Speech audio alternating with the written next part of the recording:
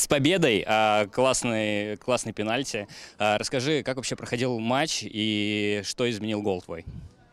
Ну, я думаю, что гол, конечно же, принес уверенности нашей команде, и мы как-то стали более спокойно взаимодействовать, э, доходить до ворот, зарабатывать э, около ворот соперника штрафные опасные, с которых тоже забили мячи.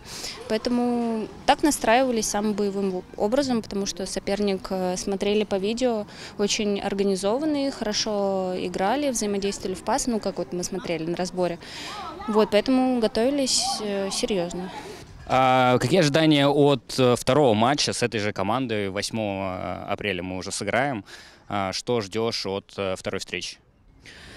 Я жду на самом деле совсем э, другую игру, другой матч, потому что у нас уже так было и не раз, что ты приезжаешь на сбор, э, готовишься к двум э, совершенно э, одинаковым ну, с, с одной сборной играешь два матча, но эти матчи всегда разные, потому что мы играем первый раз, узнаем друг друга, второй матч соперник уже знает, как мы действуем, они уже, я думаю, это обговаривают, делают какие-то поправки, и, естественно, второй матч будет интереснее, и боевитей, наверное, и зрелищнее, я думаю.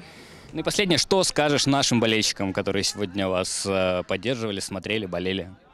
Хочу сказать э, огромное спасибо.